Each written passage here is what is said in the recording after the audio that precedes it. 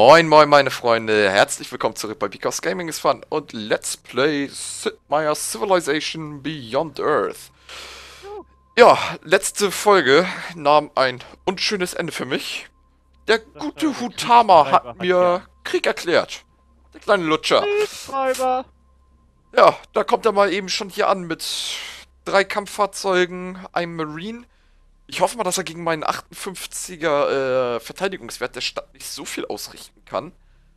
Nächste Runde darf ist mein. Darauf, ja? Darf ich darauf wetten, dass er mit noch mehr Einheiten kommt, wie du sie nur noch nicht siehst? Die sind schon alle unterwegs. Ah. Also wie gesagt, im Singleplayer kam er bei mir mit ungefähr 10 bis 12 Einheiten. Ach die Scheiße. Ja. Ja, ja gut, wir werden sehen. Also hier bin ich gerade mit meinem Kolonist auf dem Weg zu diesem Feld hier. Da ist einfach eine Menge zu holen. Mal sehen, ob das jetzt so sinnvoll ist oder ob er mir die Stadt gleich zerstört. Ah, gehen wir mal direkt in die nächste Runde rein. Ich merke schon, Civilization ist gleich zu Ende, das Projekt. Season 1 Civilization gescheitert. Wir machen dann gleich Season 2 weiter. Quatsch. Er greift äh, mich nicht mal an. Mein Kampfpanzer wird angegriffen. Rückzug! Alter Schwede, schon wieder so mega viel entdeckt hier gerade. Nächste Runde. So, du bleibst mal diese Runde noch da. Du machst seine Marine-Einheit platt. Sehr gut.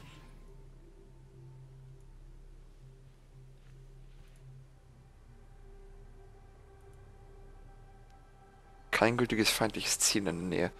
Okay, dann verschanzt du dich mal in der Stadt. Genau. Äh, Bautrupp, du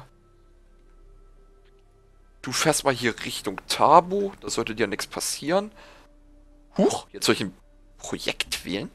Ach so, klar. Achso, von der Spionage. Ja. Äh, oh Gott. Ja, genau, das ist jetzt halt auch neu mit der Spionage. Meine Güte, viel zu viel los gerade bei mir. Ja. Man wählt sich jetzt ein Projekt aus, was man sich als großes Ziel setzt. Äh, ich finde, die machen so fast überhaupt nichts. Diese ja, Projekte.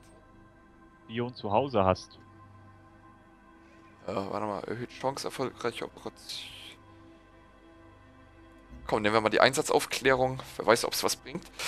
Äh, so, dann schicken, äh, lassen wir den ersten natürlich mal direkt bei uns zu Hause. Der macht Sicherung. Dann schicken wir einmal dahin. Und den dritten... Lustigerweise kann ich keinen zu dir schicken. Ich, grad, ich habe gerade so gebetet. Hoffentlich weiß er nicht mehr, welche meine Stadt war. Bitte, bitte. Warte mal. Warte mal, warte mal, warte mal, welche waren jetzt deine? Nicht, dass ich dir aus Versehen... Mandira, nee, dir halt sollte ich keine hingeschickt haben. Und ich glaube, ich konnte keine hinschicken. Okay, gut. So, dann eine neue Produktion wählen. Nee, wir wählen keine Produktion, wir kaufen. Wir kaufen? Willst du nicht lieber Einheiten kaufen? Ja, darum ja. Kaufen so, wir. Okay. Und nicht produzieren. Okay. Die Tech-Jets können nur... Ach scheiße, jetzt habe ich mir schon wieder keine Uhr gestellt. Tech-Jets können nur Städte Letzte angreifen. Folge waren doch übrigens 20 Minuten. Ach, war gar nicht ja. Tech-Jet? Das sind noch die Flugzeuge, oder nicht? Die können ja. auch Einheiten angreifen. Sag mir hier, greift aus der Distanz von... Achso, von einer Basis an. Ah. Dann kaufen wir uns mal einen Tech-Jet. Ist natürlich richtig clever, dass ich mir jetzt den, den, Marine in die Stadt reingestellt habe. Dadurch kann ich jetzt keine andere Einheit da kaufen. Ja. Du kannst sie aber produzieren und dann den Marine rausnehmen und dann kaufen. Ja. Achso, meinst du das? Ja. So, die Alienwissenschaft forschen wir jetzt mal. Und da gehen wir mal direkt rein in die nächste Runde.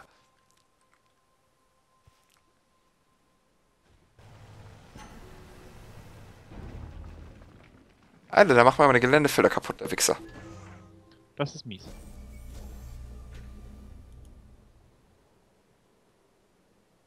Nein, ich bin zu dicht dran an dem Außenposten.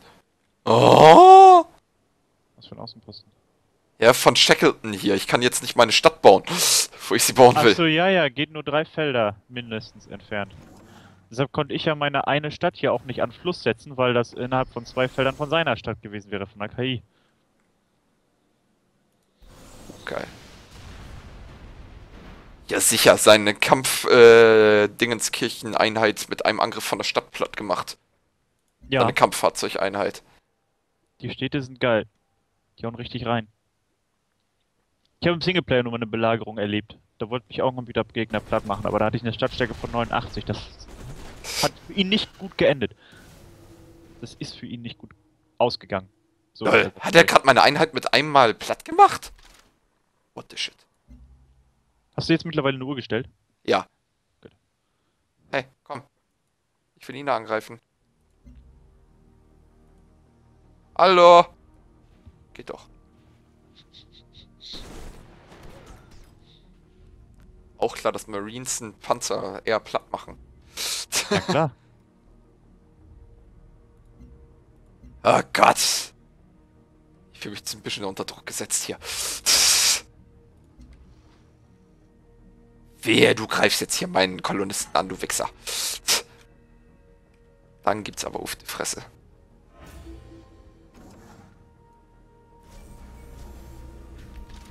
Eine Einheit wurde getötet. Er hat meinen Kolonisten platt gemacht! oh nein! Ja gut, das war's dann erstmal mit dem Kolonisten. Machst du nichts. Das ist wahr. Ja, wo willst du denn hin, du Wichser? Wichser, du bleibst mal schön hier. Ich solche Ausdrücke hier, bitte. Doch. Da wollte ich zu Tabo auf den Weg machen. Nee, nee, äh, doch. Ja, scheiß drauf. Weiß Bescheid. Nicht wirklich, aber mach mal. Die Leute sehen's ja. Ja, wie kriegt man TechJet ordentlich auf die Fresse von seinen Einheiten? Finde ich gar nicht so cool. Ja, TechJets sind nicht besonders stark. So, du gehst da mal raus, damit ich hier noch direkt die nächste Einheit kaufen kann. Ja, was ist denn jetzt mal gut? Raketenfahrzeug klingt gut. Äh, Raketenfahrzeuge sind eher gegen Städte. Okay. Was du möchtest, ist ein äh, Kanonier oder wie die Dinger heißen. Ja, Kanonier gibt's wirklich. Genau, die haben auch, glaube ich, zwei mehr Fernkampfstärke oder so. Steht auch in der Beschreibung, dass Raketenfahrzeuge gegen Städte sind. Ja, gut. Ich, ich bin ja nicht so der Beschreibung. ich bin ja nicht so der Beschreibungsleser. Ich dachte mir jetzt, bevor du wirklich das völlig falsche baust, dann. Oh, da steht ja noch eine Einheit von dem. Die habe ich überhaupt nicht gesehen. Das ist schlecht jetzt. Oh shit. Das ist gar nicht gut. Das ist gar nicht gut. Überhaupt nicht gut. Gar nicht, gar nicht. So, aber die Einheit ist jetzt auch platt von ihm. Dann bietet dir gleich Frieden an und schenkt dir eine Stadt oder sowas. Ich sehe schon kommen. Würde ich hoffen. Sein Angriff ist gleich zurückgeschlagen. Er hat nur noch ein Kampffahrzeug hier. Kam aber auch mit nicht viel an. Wie sollte dir deinen Krieg erklärt? Weiß ich schon nicht. Ja gut, mein Techjet wird jetzt... Ja, der ist jetzt platt. Kann man nichts mehr machen. Äh, du verschanzt dich mal bis zur... Ha uh, ich... Ach was, der ist aufgestiegen. Das ist ja gut zu wissen.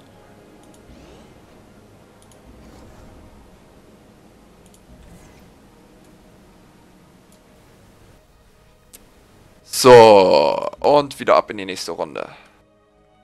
Also das Schöne ist, seine äh, Einheit bekommt auch noch schön Schaden durch Miasma. Und er ja. bewegt sie da auch nicht weg. Noch besser.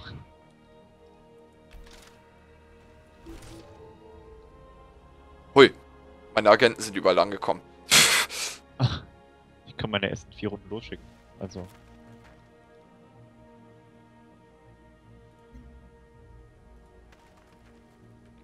So, Kanonier, Attacke! Zum Angriff. Aber hallo. Also, jetzt kann ich nämlich auch schon mal erste äh, Operationen auswählen von meinen Geheimagenten. Als erstes mache ich eigentlich immer das Netzwerk einrichten. Ich weiß nicht, ja, ob das so clever ist, aber es ist die leichteste Mission, da ist vermutlich der höchste äh, Erfolgsgarant. Von daher denke ich mir, läuft. Ja, und vor allem steigen die Spione dann dabei ja manchmal auch auf und dann hast du mehr Erfolg bei den nächsten Operationen. Warum hat der, warum hat der denn jetzt gerade 50 geheilt? Oder ist, hatte der auch einen Stufenaufstieg? Der Sack.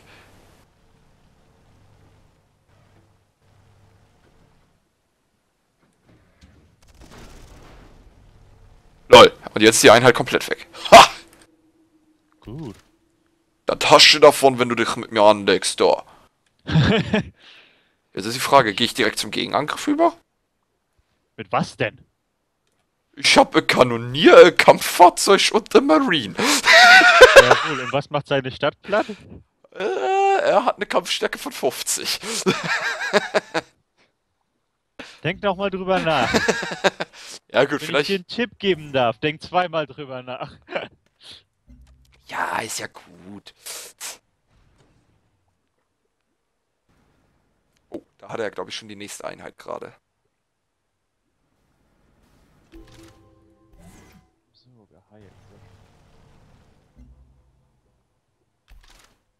So. Du gehst einmal in Bereitschaft und ab in die nächste Runde. Ja, also die erste Angriffswelle haben wir auf jeden Fall zurückgeschlagen. Mal sehen, ob da gleich schon was Neues kommt. Oder ob er jetzt erstmal zurücksteckt.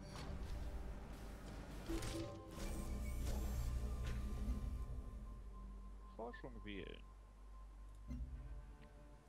Wir können ihm ja jetzt einfach mal ganz dreist äh, den Frieden verhandeln. Obwohl, warte, da müssen wir erstmal kurz gucken. Und zwar, damit wir Frieden haben, darfst du mir gerne mal Rangi geben.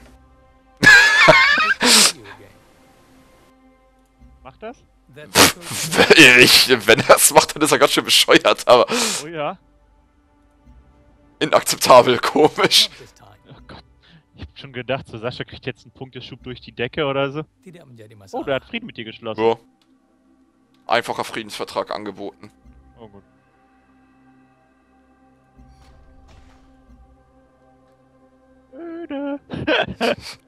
Ah. Ach, und jetzt schickt er da einen neuen Kolonisten los. Willst du mich verarschen, Junge?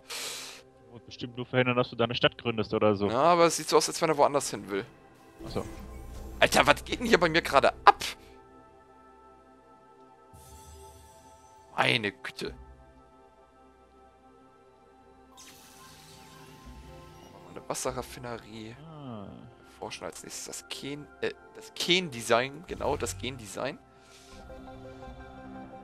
Haben eine Quest-Entscheidung. Könnte ja was werden.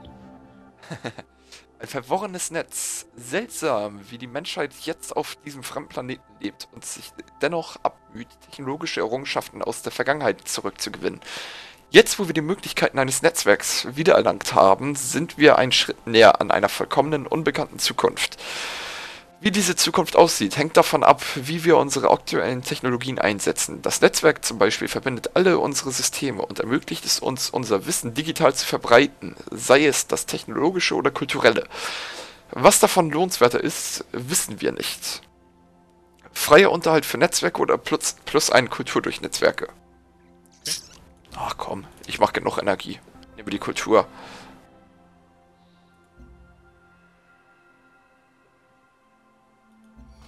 Sagen, Energie geht bei mir mittlerweile sogar auf. Das ist echt witzig. Ja, bei mir hängt das Spiel. Okay. Bei mir auch. Ich glaube, wir kommen wieder in den... Ja, ah, wir kommen wieder okay. in den Ladebildschirm. Warum immer, wenn ich aufnehme? Schweinerei. Warte mal, jetzt kann ich mal lesen, was da steht. Das habe ich letztes Mal überhaupt nicht gemacht. Auf der Erd Erde hatten wir reichlich. Was wir hatten, haben wir nicht mehr. Jetzt haben wir keine andere Wahl, als zu ernten, was wir gesät haben. Und daraus zu schaffen, was wir können. Wir reisen vom Nichts ins Etwas, in der Hoffnung, Respekt für unsere neue Welt zu finden. Und da fehlt der letzte Teilsatz. Ja. Muss aber auch mal ordentlich nachladen hier. Ja. Oh ja. Oh, da kommt aber einiges runter. Wieder Wir haben ein Alien-Nest entdeckt. Juhu. ah, Netzwerke wurden in beiden Städten richtig eingerichtet. Das ist doch sehr schön. Ey, komm, lad hier nach. Und dadurch wurden meine Geheimagenten auch hochgelevelt. Das sehe ich doch sehr gerne. Komm, du baust jetzt nochmal wieder einen neuen Kolonisten. Ich, oh, schon wieder neue Quest-Entscheidung. Ja, ich auch. Dieser Planet ist geologisch gesehen ziemlich anders als die Erde. In vielen Belangen sind seine natürlichen Effekte weitaus schädlicher, als wir angenommen hatten. Zum Glück haben wir durch dieses neue Observatorium die Gelegenheit, mehr über unseren Planeten zu erfahren und diese Wissen, was, dieses Wissen zu unserem Vorteil zu nutzen. Die Frage ist nur, in welche Richtung wir unseren Blick wenden sollen. Auf die unsichtbaren Neut Neutrinos, die unentdeckt um uns herum schwirren, oder auf die Himmel, mit denen unsere Augen noch nicht vertraut sind. Mikroebene gibt plus 2 Stadtstärke durch Observatoren oder plus 2 Seebewegung durch Observatoren. Ja, dann nehme ich mal die Stadtbe Stadtstärke, ne? Bei so einer großen Landmasse macht äh, Seestärke nicht so viel Sinn. Ach, ich habe einen miasmischen Repulsor. Ah, sehr gut. Stimmt ja, den habe ich. Nimmst du schon auf? Äh, ich schätze 14 Minuten müssen das jetzt sein. Okay.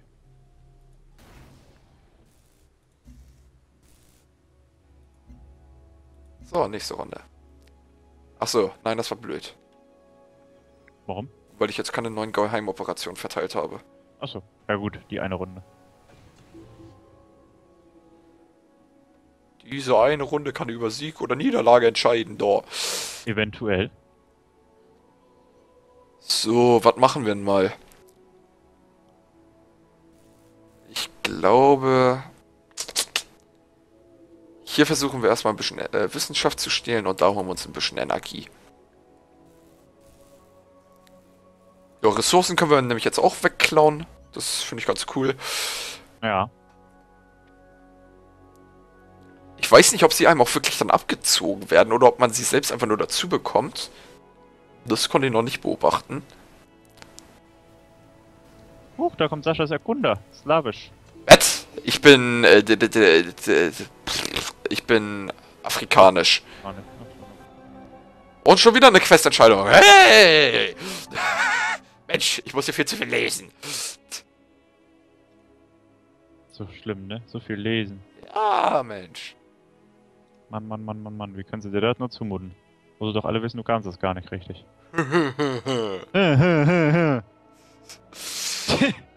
Tja.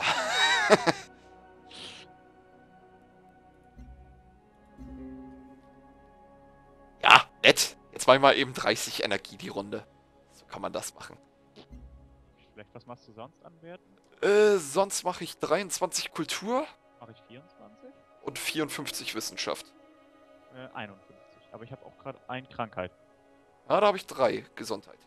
Okay. Und schon wieder eine Questentscheidung. Yay. Mit dem Bau einer neuen Automatikfabrik sind unsere Bürger nicht mehr an manuelle Produktionsarbeit gebunden. Sie können ihre Energie für edlere Zwecke einsetzen. Aber was ist mit der Automatikfabrik selbst? Die automatisierten Systeme produzieren alles, was wir uns wünschen. Den Zweck müssen wir aber vorgeben. Wofür wollen wir sie einsetzen? Für den Handel oder für den Verbrauch? Plus ein Handelsweg durch Automatikfabriken oder plus eine Energie? Über die Energie. So viel handeln tue ich nicht. Sieht man eigentlich, wie viele Handelswege man noch frei hat? Nee, keine Also ich bestimmt irgendwo, aber wie weiß ich jetzt auch nicht.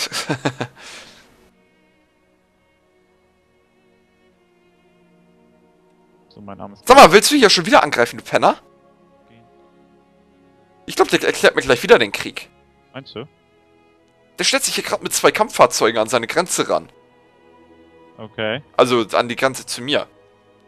Hätte ich mir jetzt gedacht. Ja. Das sollst du dich mal trauen, du kleiner Wicht, du.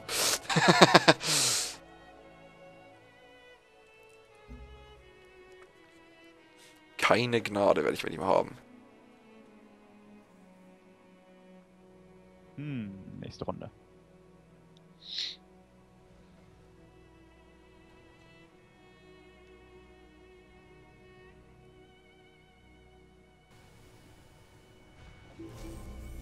Nein, okay, er kommt nicht zu mir hin. Das ist schon mal gut. Er ist einfach stehen geblieben. Wahrscheinlich aber nur absichern die Grenzen, weil er Angst hat, dass du Gegenangriff startest oder sowas. Ah, das kann sein. Ich stehe ja jetzt auch mit drei Einheiten an meiner Grenze da irgendwo. Ja. Ähm. Gefühlt ein sehr nach freundschaftliches Nachbarschaftsverhältnis, wie ich merke. Auf jeden Fall. Komm, hau mal noch einen Kanonier raus, vorsichtshalber.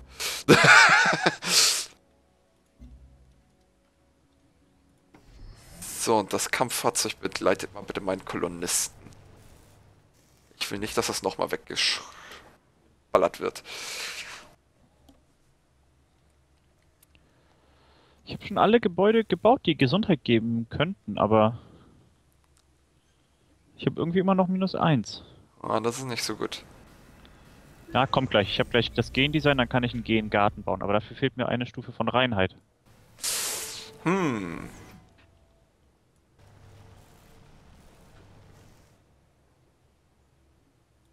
Eine Produktion wählen. Dann hau doch mal die Zellzuchtstation raus.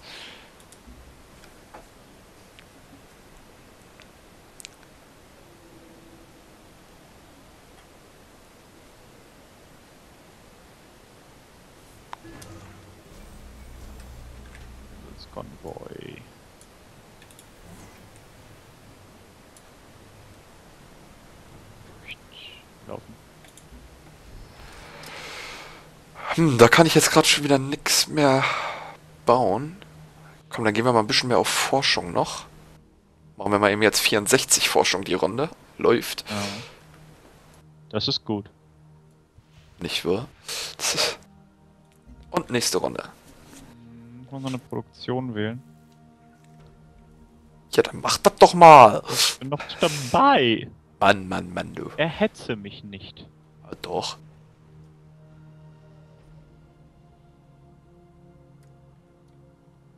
Ui, die KI battelt sich hier dick mit den Aliens.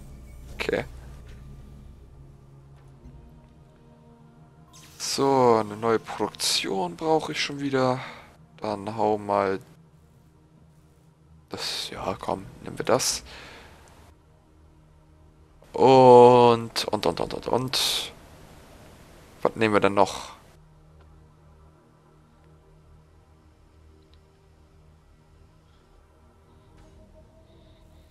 Aha. Was ist aha? Ach, nix. nix? nee, keine Ahnung. Ich guck gerade nur ein bisschen. Hauen wir mal... Ja, ich kann mich gerade nicht entscheiden, welche Forschung ich als nächstes anhauen mhm. soll. Taktische Robotik gibt mir... Was? Spezialeinheit der Vorherrschaft. Okay. Generalkontrolle oder Knotenpunkt.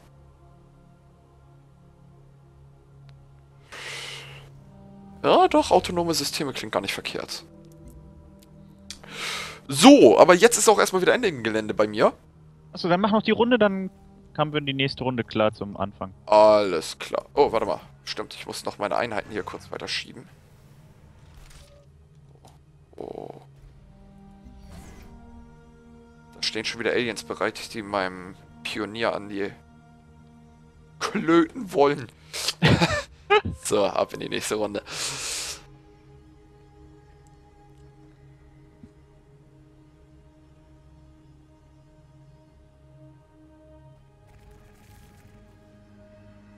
Irgendwas passiert. Achso, okay, okay. Alles klar, Leute. Da ist ja Sehr einiges gut. passiert, diese Folge. Wir haben einen Angriff zurückgeschlagen, haben die geheimen Projekte gestartet von unserer Spionageanlage, sind auf dem Weg zu unserer vierten Stadt.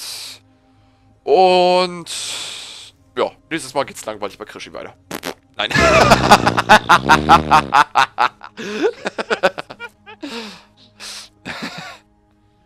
Nee, gute Leute, dann danke ich euch jetzt erstmal wieder vielmals fürs Zusehen und wie gesagt, nächstes Mal geht's dann bei Krischi weiter. Haut rein. Tschö.